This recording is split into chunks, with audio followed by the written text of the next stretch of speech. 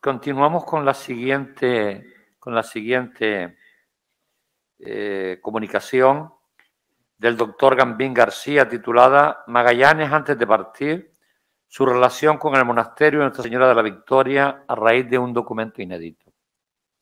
Hola, buenos días. En primer lugar, saludar a mis queridos amigos de la Casa de Colón.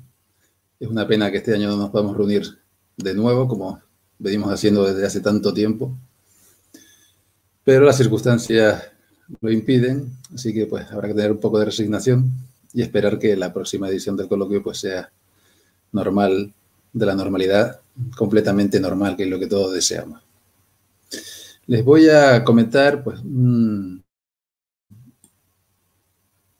una pequeña aportación que casualmente pues eh, hallé en el archivo de Simancas, luego explicaré un poquito más en detalle cómo consistió, de la aparición pues, de un documento que, eh, según he, intentado localizar, pues no está eh, reseñado en ningún lugar. Es un documento inédito que acompaña a otro que sí es conocido en una solicitud que hicieron los frailes del monasterio de Nuestra Señora de la Victoria de Sevilla al rey en 1519 o comienzos de 1520.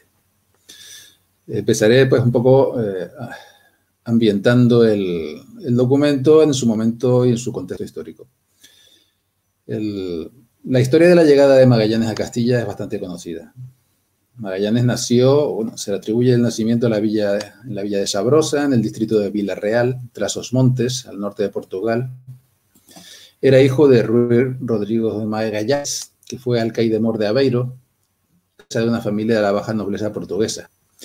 Ingresó como paje en la corte de la reina Leonor, hija de los reyes católicos, que era consorte del rey Juan II en aquel momento. Su estancia en ambientes cortesanos le granjeó las amistades necesarias para intervenir en las grandes aventuras portuguesas de la época, los viajes a Asia y el desembarco en Marruecos. A los 25 años participó en la expedición de la flota de Francisco de Almeida, el primer virrey de la India, que duró entre 1505 y 1509. En esta expedición se exploraron las islas de las especias, las Molucas. Magallanes aparece en los documentos actuando en la tasación del tesoro que se encontró allí. En 1509 se enroló en la fracasada expedición de Diego López de Sequeira a Malaca y allí trabó amistad con el capitán Francisco Serrao. En 1510, al servicio del virrey Alfonso de Alburquerque, tomó parte en la conquista de Goa, en la India, y al año siguiente, en 1511, de nuevo con Serrao, participó en la conquista de Malaca. Serraón partiría hacia las Molucas, desde donde le relataría por escrito su viaje a las Islas de las Especias a Magallanes. Magallanes volvió a Portugal con el grado de capitán y fue ascendido a Fidalgo Escudeiro. Y en 1512 acompañó a las huestes de Jaime de Braganza, que trató de someter al estado de Asamor en el actual, país marroquí, Marruecos, y resultó herido en una pierna en una escaramuza de la cual quedó cojo de por vida. Magallanes tuvo que volver a la corte a dar cuenta de un dinero del que era responsable y cuyo destino fue cuestionado. De esta desagradable tarea salió absuelto, pero poco lucido, y tal vez esa fuera una de las causas por las que, desencantado del desagradecimiento del rey portugués, acudiera a la corona de Castilla poco después. En aquellos años, Magallanes, conocioso experto en náutica, matemático y astrónomo, llamado Ruy Faleiro, con quien congenió y elaboró un proyecto de viaje que descubriría el paso hacia las Molucas, rodeando el continente americano. Como el rey de Portugal no pareció interesado en la propuesta, los desilusionados portugueses vieron como única oportunidad plantearle el plan al nuevo rey castellano. Desde Lisboa, Magallanes se trasladó en octubre de 1517 a Sevilla, que era la sede de la Casa de la Contratación, y era el lugar donde se cercano a la corona castellana, que tal vez podrían ayudarle. Diego Barbosa era el teniente de alcaide de los Alcázares y Atarazanas, cargo que ostentaba Jorge de Portugal, hijo bastardo de la Casa Real Portuguesa. Barbosa actuaba en el día a día como su lugarteniente y llevaba en la ciudad espalense 14 años cuando llegó Magallanes a Sevilla. Las cartas de recomendación de Magallanes tuvieron que hacer su efecto, acogido por Barbosa en su entorno cercano. Hasta tal punto entabló intimidad con su familia que acabó casándose a los pocos meses con la hija de Barbosa, Beatriz, que de paso le colocó en buena posición económica gracias a la dote de 600.000 maravedíes que el padre de la novia. Sin embargo, a pesar de la acogida, Magallanes no dejaba de ser un extranjero. Su deficiente dominio del castellano provocaba que necesitara acudir a escribanos locales para redactar cualquier documento. Gracias a la influencia de su suegro, Magallanes solicitó la naturaleza castellana en cuanto pudo. Posa como valedor, Magallanes se entrevistó con los funcionarios de la Casa de la Contratación, organismo que organizaba todas las expediciones castellanas bajo el mandato del obispo de Burgos, el todopoderoso Juan Rodríguez de Fonseca.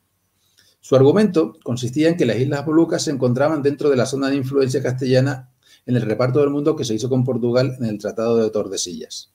Además, él conocía el camino y el lugar, ya que había estado allí, poseía cartas de marear y hasta había elaborado una esfera terrestre para mayor comprensión de su teoría.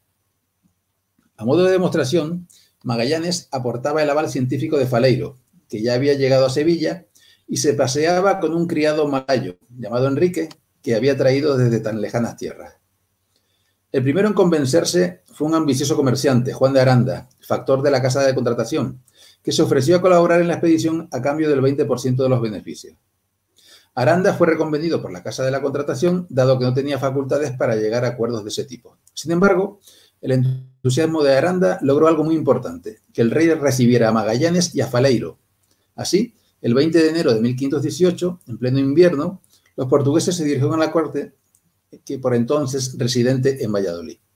Tras una primera vista con el rey Carlos, recién arribado al trono, Magallanes tuvo que detallar su plan a Fonseca y al padre de las casas asesor del monarca por entonces.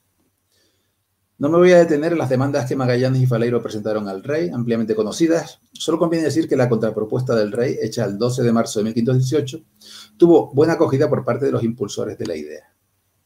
Lo que nos interesa en este momento es que el rey otorgó el 22 de marzo de ese año una que recogía los derechos y obligaciones de la corona y de Magallanes y Faleiro para organizar una armada con destino a las Islas de las Especias y le concedía honores como el hábito de Santiago.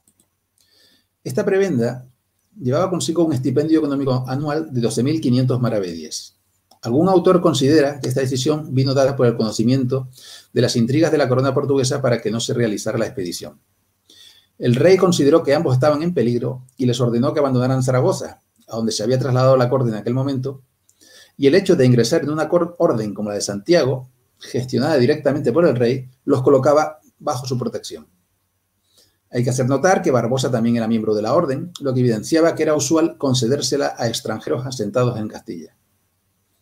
Es importante reseñar que Magallanes cobró 50.000 maravedíes en adelanto de su sueldo como capitán de mar, más una mensualidad de 8.000 maravedíes mientras durasen los preparativos y la propia expedición. El rey otorgó tanto a Magallanes como a Faleiro el rango de capitán, con poder absoluto en el mar, solo instituyó un inspector ascendístico propio, Juan de Cartagena, que, que controlaría los gastos de la expedición, algo que a la larga resultó desastroso. Magallanes, Faleiro y Cartagena dedicaron 17 meses, todo el año 1519 y la mitad del siguiente, a preparar una expedición para cinco barcos con una duración prevista de dos años, algo nunca visto hasta la fecha. En mayo, el monarca envió instrucciones muy detalladas para el viaje y a finales de julio se decidió que Faleiro no viajara aquejado de problemas psíquicos. Faleiro fue sustituido por Andrés de San Martín, un cosmógrafo y astrólogo de cierto renombre por aquel entonces. En los preparativos fue Sevilla y dentro de la ciudad el puerto de las Mulas, cerca del barrio de Triana. Se escogió este lugar por ser el único puerto desde donde se podía embarcar vino. Los alimentos llegaron a constituir una inversión importante en el total de la expedición, casi lo mismo que el coste de la flota. La cercanía de este lugar de trabajo al monasterio de Nuestra Señora de la Victoria tal vez fuera la razón por la que Magallanes se aficionó tanto a esta iglesia. En la Sevilla de comienzos del siglo XVI, el conjunto de órdenes religiosas era numeroso. No era exagerado atribuir a la ciudad más de 1.500 religiosos, sin contar la población de cerca de 20 conventos femeninos. El monasterio de Santa María de la Victoria en 1519 debía ser bastante humilde, se trataba de la antigua capilla de una cofradía de San Sebastián, levantada probablemente por los calafates de Sevilla. Esta capilla, que no monasterio, fue cedida en 1516 a los religiosos mínimos o de San Francisco de Paula, que llevaban unos pocos años establecidos en Sevilla. La llegada de estos religiosos mínimos, esta orden de frailes, se produjo en 1512, año en que Pedro de Almodóvar, provincial de la Orden, obtuvo licencia del arzobispo Diego de Deza para que él y diez frailes del convento de la Victoria de Écija pudieran fundar un convento de esta orden en Sevilla. En 1512 se instalaron intramuros de la ciudad junto a la iglesia de San Miguel, pero aquel lugar no les satisfizo y resolvieron trasladarse a Triana en 1516, aprovechando la ocasión en que se les había cedido por la cofradía propietaria la ermita y el hospital de San Sebastián, que también contaba con terrenos de huertas. La cofradía tendría una capilla en el templo y como contrapartida los mínimos celebrarían todos los años el Día de San Sebastián y darían un cierto número de misas por la cofradía. Los mínimos se aplicaron en la ampliación del edificio, de modo que muy poco después, en noviembre de 1517, aún sin terminar las obras, se inauguró el nuevo templo con la presencia del obispo de Belandia, auxiliar de Fray Pedro de Deza, dedicado a la Natividad de la Virgen bajo la advocación de Santa María de la Victoria, como se llamó la casa fundada por los mismos religiosos en Málaga tras su conquista. La localización geográfica de la iglesia cerca del río y del barrio de Triana y la actividad de los religiosos en el entorno marinero los popularizó, y con ellos la de su imagen advocatoria, la Virgen de la Victoria. Antes de la salida de Magallanes, se había convertido en costumbre que los frailes, los victorios, como se les llamaba, bendijeran las banderas de los navíos delante de la imagen antes de su partida. El nuevo monasterio con el mundo de los barcos surgió, pues, desde los comienzos de la llegada de los frailes. El factor de la Casa de la Contratación, Francisco Duarte de Mendicoa, se convirtió en patrono de la capilla en 1524. Otra persona relevante del ámbito sevillano, Diego Barbosa, el alcaide del Alcázar y de las Atarazanas Reales, suegro de Magallanes, fue otro de sus más fervientes sostenedores. Creemos que la afición de Barbosa por la Virgen de la Victoria y el ambiente marinero en que la imagen se desarrollaba influyeron en que Magallanes la adoptase como su Virgen favorita. Esta afición se reflejó en muchos actos de su vida. El más conocido es la elección de la iglesia del monasterio para realizar el acto de juramento y obediencia a la bandera y enseñas castellanas. Pero no fue primero. A través del documento que aportamos con esta comunicación, sabemos que el 11 de junio de 1519 Magallanes hizo donación ante el escribano público de Sevilla, Pedro Farfán, de los 12.500 maravedíes anuales que le correspondían del hábito de la Orden de Santiago. Como decíamos, la iglesia de Nuestra Señora de la Victoria fue el lugar elegido por Magallanes para realizar en ella el acto solemne de juramento a las banderas y pleito homenaje al monarca ante su representante en la ciudad, el asistente de Sevilla. Terminados los preparativos en Sevilla, la flota partió río abajo tras despedirse descargando salvas de artillería en la mañana del 10 de agosto de 1519.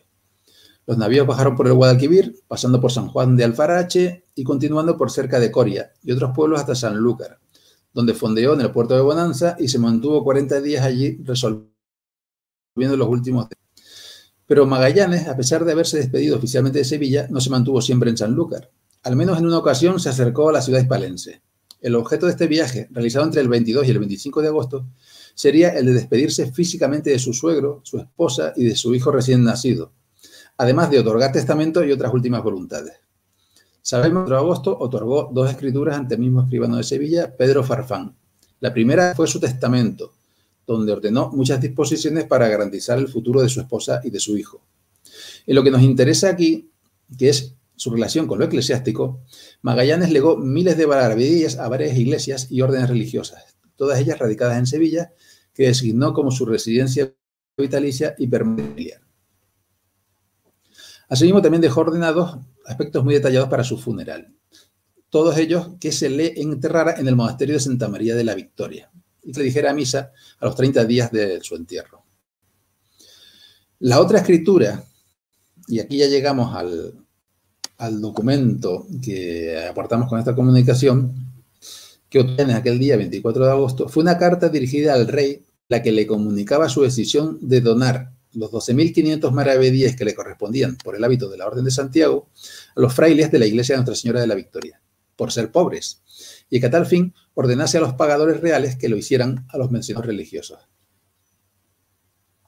Vuelto a San Lucas, tras finiquitar estos trámites, la expedición de cinco naves de Magallanes se repó el 20 de septiembre desde esta ciudad costera. En solo seis días llegaron a Tenerife el 26 de septiembre, donde se hizo aguada y se abasteció de pez, y la flota dejó la isla el 2 de octubre para afrontar la travesía del Atlántico.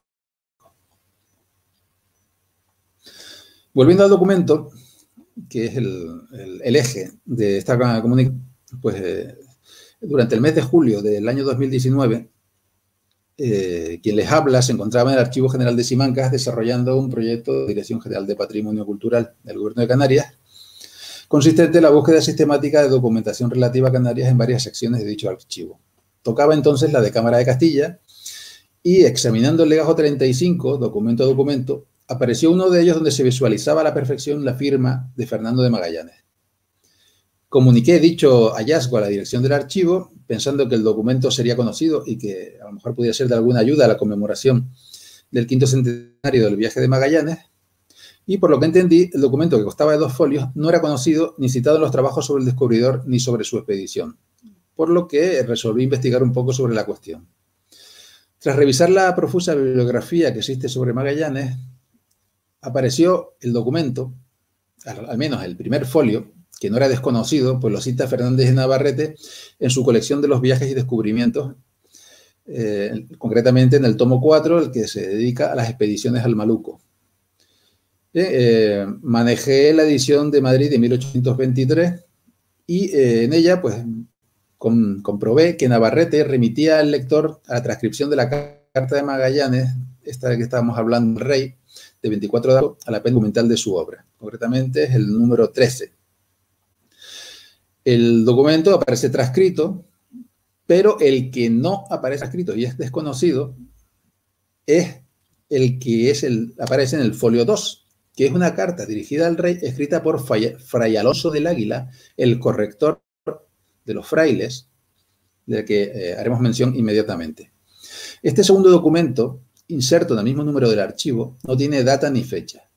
Se sobreentiende que se hizo en Sevilla y una vez que partió la expedición de Magallanes, ya que el corrector, corrector Alonso del Águila y no Pedro de Almodóvar, como se ha venido diciendo, manifiesta que de la, la Armada ya es ida al descubrimiento de la especiería. Este documento tuvo que redactarse después de que venciera el plazo anual a que tenía derecho Magallanes por pertenecer a la Orden de Santiago. El documento está localizado en el legajo 135, que corresponde al año 1519, mientras que el siguiente, el 136, ya comienza con el año 1520. Con lo que, por el lugar del archivo, podríamos aventurar que debe fecharse en los últimos meses de 1519 o comienzos del siguiente. Hay que tener en cuenta que eh, Magallanes no había cobrado nunca ese dinero, por lo que los frailes podían pedir su pago desde que se le otorgó la merced el 22 de marzo de 1518, más de un año antes. En este caso, pues el, el rector pedía que se le pagara a ellos el, importe de toda esta cantidad. No conocemos más datos de cómo se respondió por parte de la corona a la petición del monasterio, pero por experiencia en otros asuntos similares, la falta de reiteración en las peticiones indica que se atendió al requerimiento, con lo que tal vez durante un tiempo los frailes dejaron de ser tan pobres. La iglesia de Nuestra Señora de la Victoria se mantuvo abierta al culto hasta 1840, en que la desamortización de Mendizábal obligó a su cierre. La imagen de la Virgen se trasladó a la iglesia de Santa Ana, donde la tradición mantiene que es la que se exhibe actualmente en ella.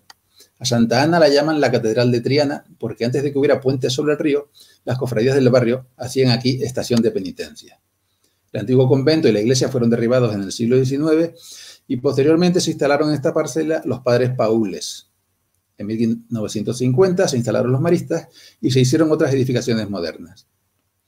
De aquel mundo marinero nos queda el testimonio de la iglesia de Santa Ana, testimonio de la, de la imagen de la Virgen de la Victoria en esta iglesia.